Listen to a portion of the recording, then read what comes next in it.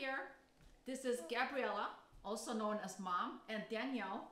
And we're here together because our friends and family have asked us to put together this recipe, this beloved recipe that we always, Mom particularly, always gets asked for every time we have a get together. This salad is called salade de boeuf. That's in French, but I don't believe it was made originally in France, but rather the, the legend has it that it's been originally created in Russia. And salade de boeuf originally had beef in it plus a lot of other vegetables. However, the the one that we're going to make today is going to be our style of vegan salade de boeuf, uh, which is equally tasty. So starting today, we want to talk a little bit about the ingredients that are going to go in here. So we have a little bit of list of ingredients. First of all, you will need some garlic. You're going to need a little bit of onion, one onion and a head of garlic. Um, but you're going to, we don't have them chopped out here because we'll tell you when to use it. But the main ingredients, some of the main things that are very common for the salad are potato and uh, carrots. and all these potato all these versions that exist out there all have potatoes and carrots plus a variety of other vegetables and what they also have in in in common is the fact that they're all chopped very very small. So you'll see that as we discuss a little bit later on how to go to the next step. So let's go over the ingredients. What do we have? We have a carrots, carrots. fresh carrots, celery root. Mm-hmm. Okay, a parsnip root. So this looks like a carrot but it's not a carrot it's a parsnip. Okay, and potatoes. So let's talk a little bit about the potatoes because the potatoes uh, that we usually like in this salad are the Trader Joe's organic golden. Uh, these are also very common in Portugal. So like a lot of dishes, Portuguese dishes use these particular ones. So you can see they're sort of uh, when they boil, they boil very nice and tight. So what's our next step? Uh, first of all, from celery root, you don't use whole celery root because that it's a strong taste and little sweet. Um, for four five carrots, we need like a quarter of the celery root. So you peel it. It's a little bit Peel it. hard to peel. You will peel it and then maybe use one quarter of that Or to, and it will be diced. yeah, and same with uh, parsnip. Need to be Okay. So the next step. So once you have your vegetables and obviously you've cleaned them and scrubbed them clean and they're ready, you have not chopped them yet because these vegetables are boiled in their entirety. You know, the quarter that you've got, it's not chopped small, it's a quarter.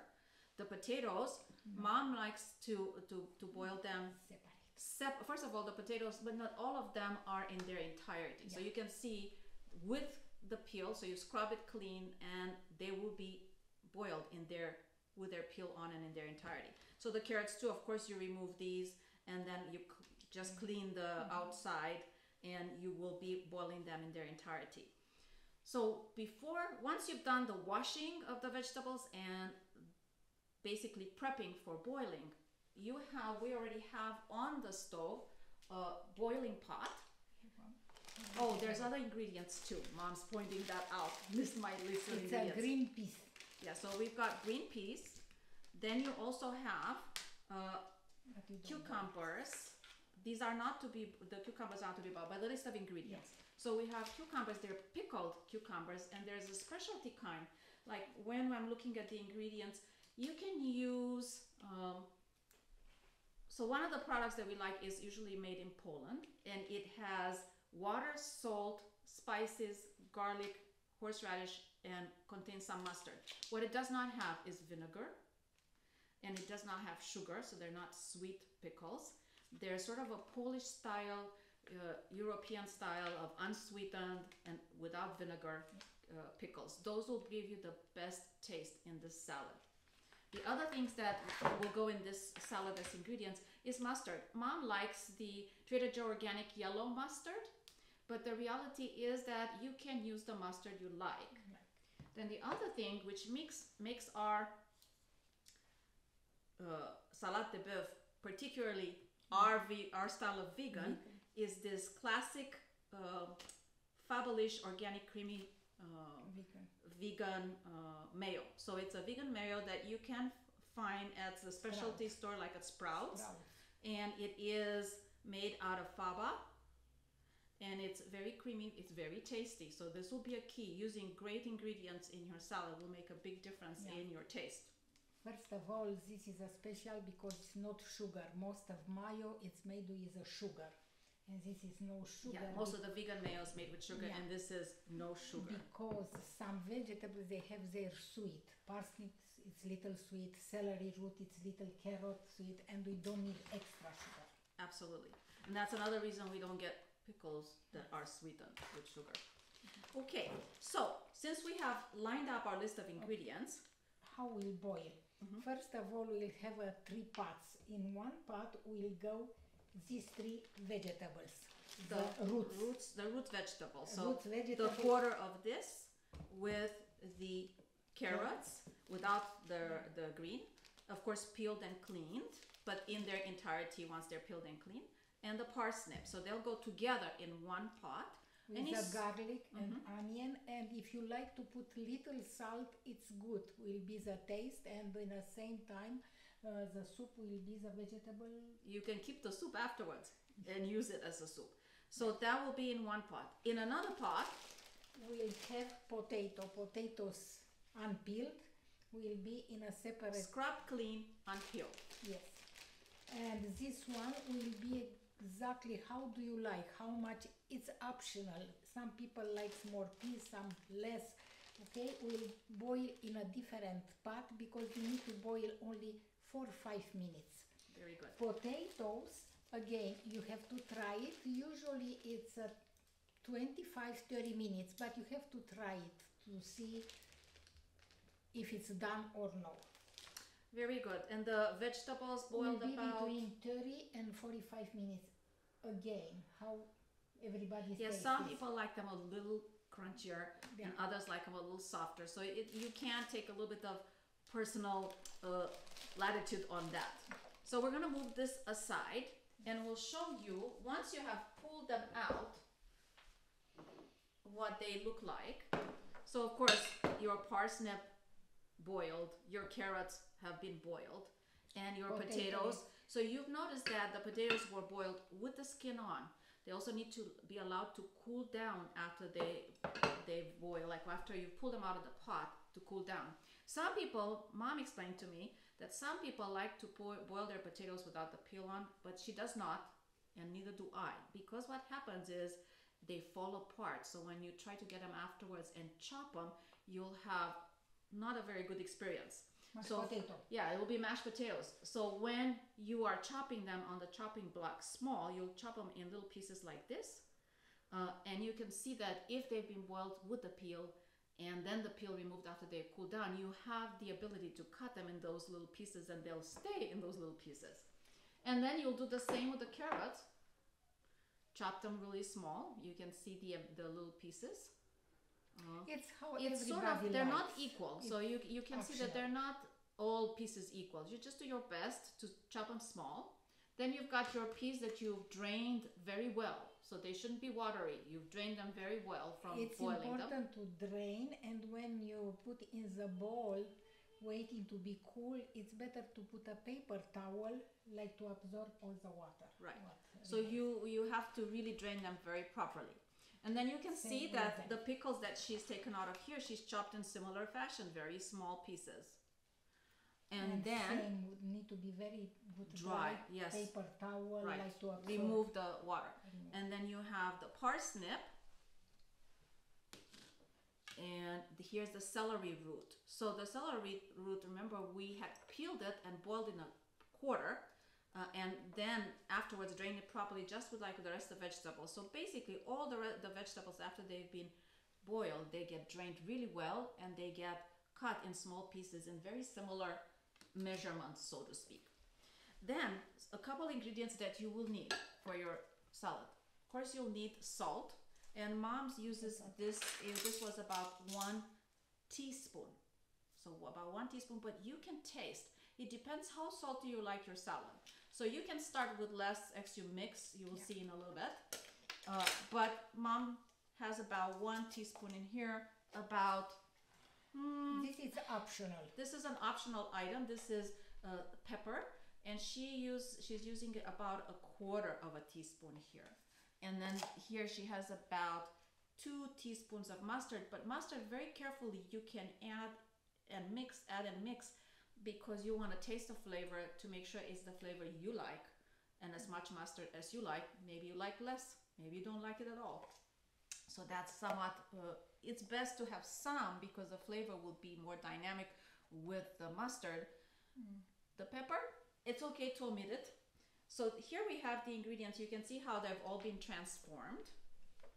We'll move these out of the way.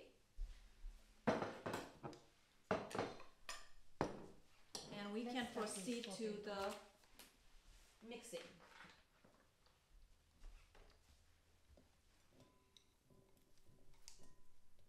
Do you have an order, mom? Which one you like to put first? No. Doesn't matter. I put potato because the potatoes I put always a bigger quantity. Okay. But So I guess she's an organizational person. She likes the bigger, the larger amounts first. Not that it matters in the taste at the end of the day. no, because we'll be mixed anyway. Yeah. So this potato salad that we call salad de boeuf, as we were growing up, it we never it never missed. If there was New Year's, we had it. If it was a birthday, it was always present. It was almost like the dish that never left the table at any celebration. Uh, and it's also the dish that everybody liked. And even today, when we do it at the at, the potluck at church, that's the, the potato salad that everybody likes and wants to, to have more of. I start with the less. So she'll maybe not put it all at once. Okay, let me cover it so it doesn't spill here. We'll open it in a minute. And the, this same little. So she didn't put all the pepper at this point in time. We'll see. And right now, after all the vegetables they are mixed with salt and pepper, I'll um, You need to mix open it. this one. Okay. And we can start to mix with the mayo and mustard after that. Mustard. Mustard Um, after that. The thing is, when you're mixing them, you have to have sort of a light hand because you don't want to mash them up. You don't want to make mashed vegetables. Sorry. So you sort of like pull them from underneath and mix and mix. So we can see how much she's putting for this amount of. Same, it's optional. How Yeah, so it is optional. Let me take this here. I think I'll use a it's either easier to mix. Mm-hmm. And in the moment when I started to mix with mayo, I'll start to add, Add some, some mustard. Okay.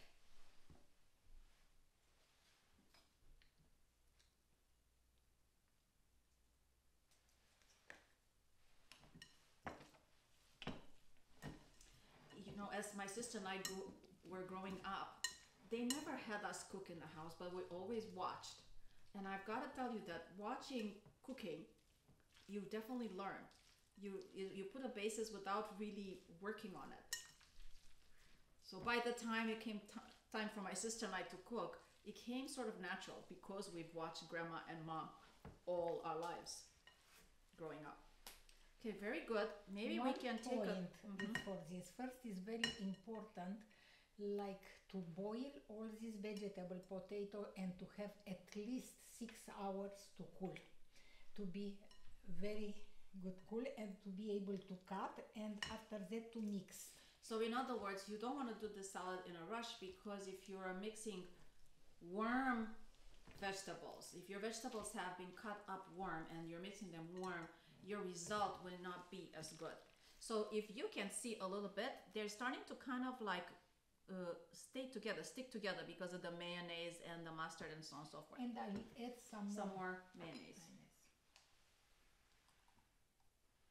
But it's not like when we are looking at the Okay. mayonnaise, and once she mixes in the mayonnaise, it's not like the mayonnaise is not thick. Uh, it it is sort of like a glue kind of consistency where it makes things sort of stick a little bit together, but not necessarily cover completely.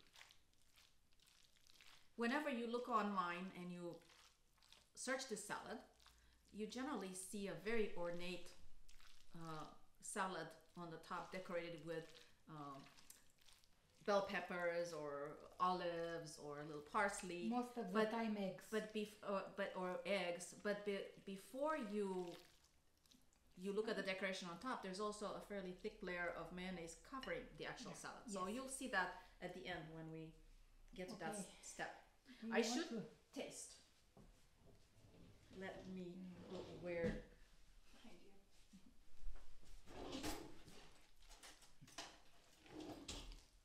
mom No, you taste and you see. taste too you're the cook You are with the salt. Mm.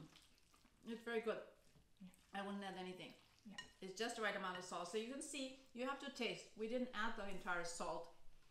We we did about three quarters of it.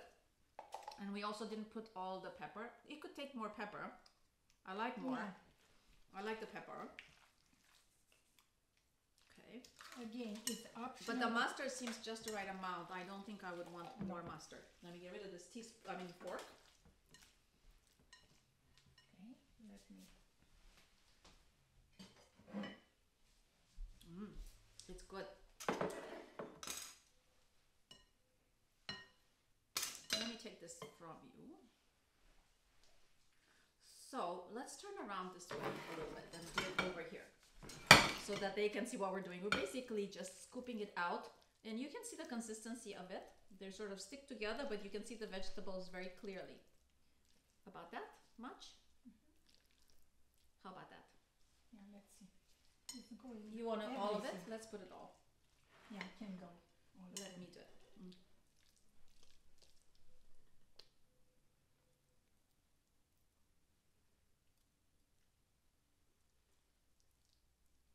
Okay.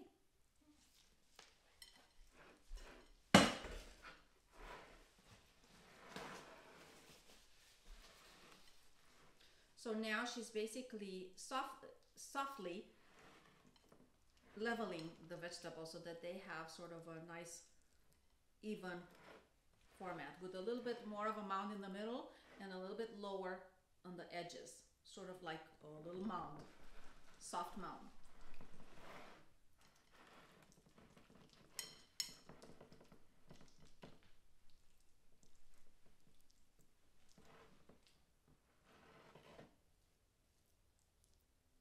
All right. Sort of like a cake filling. We're, we're making a cake. All right. So then, this one.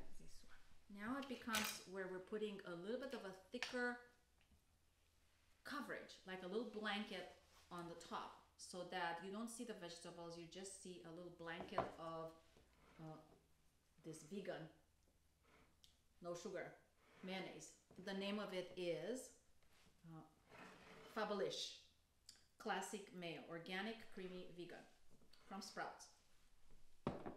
So she's making sort of a little bit of a blanket, but you can get creative on that.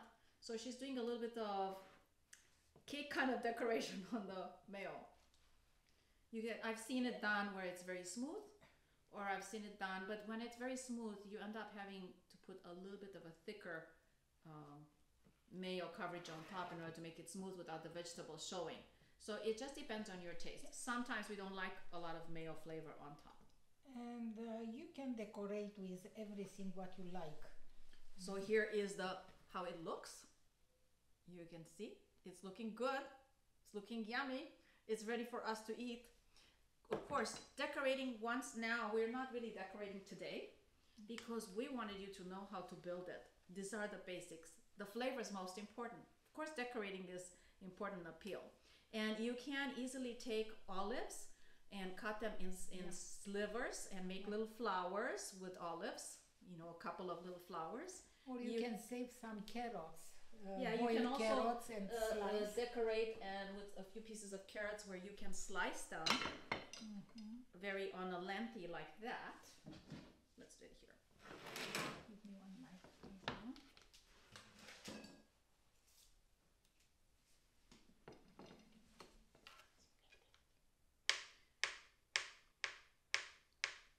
Mm, I. Already have an idea.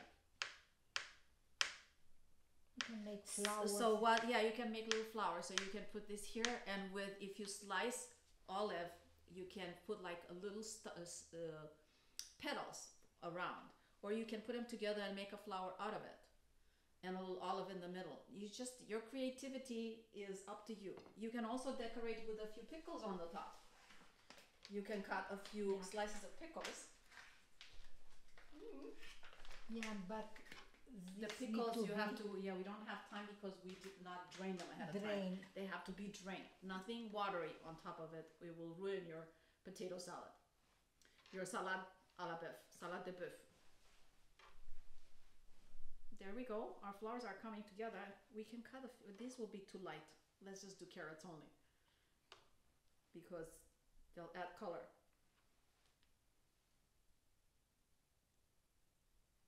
Ah, let's do one more here. Mm. One more. Yes, maybe a little bit bigger one like this one. Yeah, so we have a, like petals a little bit bigger.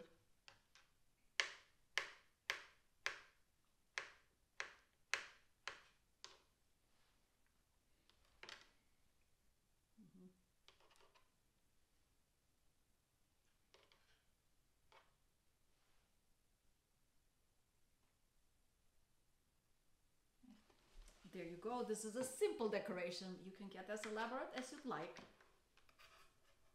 Just keeping with the ingredients though. In general, if you are doing, doing decoration, I wouldn't use pansies. Even though pansies are edible, I wouldn't do that. It like ruins your potato salad.